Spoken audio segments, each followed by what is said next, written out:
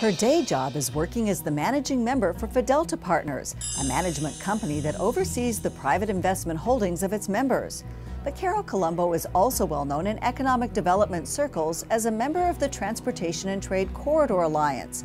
She was also named by the Secretary of Commerce as a member of the Arizona District Export Council.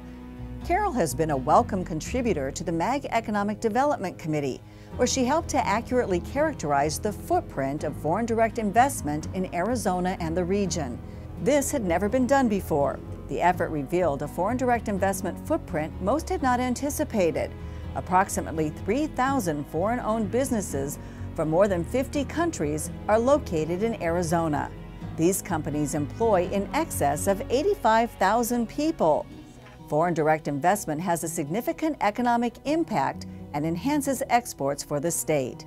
Ms. Colombo devised an in-depth roadmap for the region and state to follow to better position themselves to secure future foreign direct investment.